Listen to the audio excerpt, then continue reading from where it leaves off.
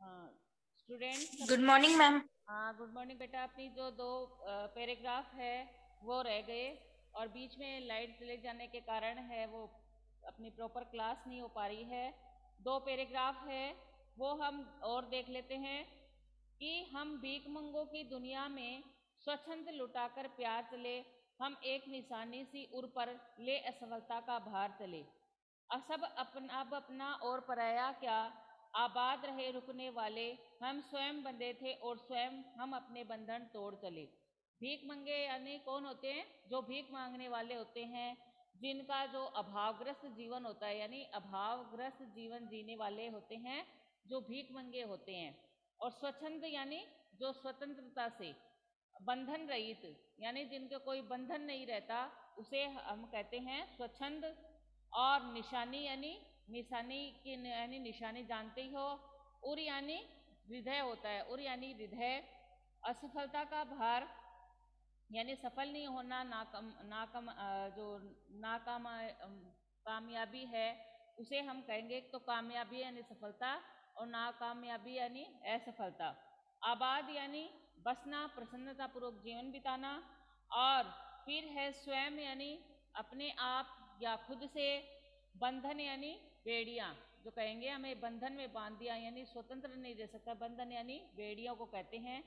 तो इसमें जो कवि है, वो दुनिया की जो स्वार्थी प्रवृत्ति है और दीवानों को समर्पण सर्वस्व समर्पण करने की प्रवृत्ति की ओर संकेत किया गया है। इसमें देश के जो दीवाने हैं, बलिदानी है, वो कहते हैं कि देश में कुछ लोग, वे सदा कुछ ना कुछ चाहते ही रहते हैं। हम भीख मंगों की दुनिया में स्वच्छंद लुटाकर प्यार चले हम एक निशानी से उर पर ले, असफलता का प्यार चले कि जो देश के जो दीवाने होते, बलिदानी होते हैं, वो क्या करते हैं कि देश के लिए अपना कुछ ना कुछ कुछ ना कुछ करना ही चाहते हैं। देश के लिए वो अपनी बात है, वो सोचते नहीं। देश के लिए कुछ देने की बात है, वो नहीं सोचते। वे ये लोग भीख मंगों के समान होते हैं, उन्हें इन लोगों से देश से सच्चा प्यार करने की भावना सिखाई है। उन्होंने किसे? इन लोगों से। देश से सच्चा प्यार करने की जो भावना है, वो सिखाई है और देश से निस्वार्थ प्रेम करना हर देशवासी का कर्तव्य है कि अपना जो देश है, उसे हम बिना किसी स्वार्थ के प्रेम करना चाहिए, ये हर देशवासी का कर्तव्य है। तो लेकिन जो देश देश प्रेम के जो दीवाने हैं, वो क्या करते हैं? उन्हें इस बात का पछतावा होता है कि निरंतर प्रयत्न करने पर भी वे देश को स्वतंत्रता नहीं दिला पाए। वे अपनी जो असफलता का जो बोझ है, वो अपने हृदय पर धारण करते हैं और अपने जो असफल की हम देश को स्वतंत्रता कराना चाहते थे, लेकिन देश को स्वतंत्र नहीं कराना, करा पाए, इसका बोझ है वो अपने हृदय पर लेकर और अपने कर्तव्यों को निभाते हुए चलते हैं। सब अप, सब अपना है और पराया क्या?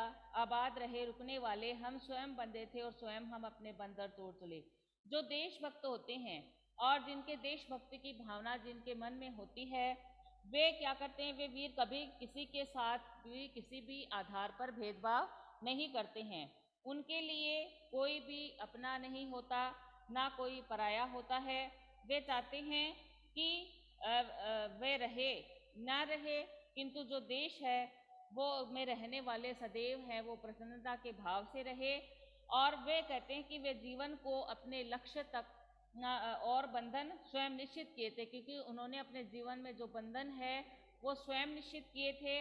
और अब हम स्वयं अपने बंधन, रिश्ते, नाते तोड़कर है, वो बलिदान होने के लिए उस पथ पर बढ़ गए हैं। यानी हमें इस स्वतंत्रता रूपी बंधन में बांधने वाला कोई नहीं था कि आप देश को स्वतंत्र कराओगे, तभी कुछ आपको हासिल होगा। हमें इस, ये कैसा किसी ने नहीं कहा था, हम देश को स्वयं ही स्वतंत्र कराने का जो लक्ष्य है, वो हम अपने मन में लेकर चले थे।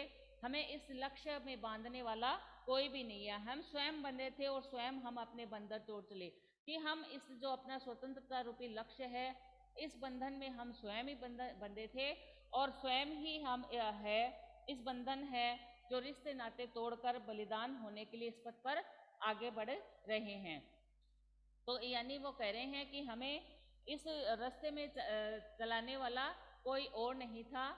तो स्टूडेंट अपनी जो चैप्टर है दीवानों की हस्ती, ये यहाँ पर ख़त्म हो रहा है। इसमें कोई आपको बात समझ में नहीं आई हो तो आप पूछ सकते हैं। किसी को कुछ पूछना है क्या?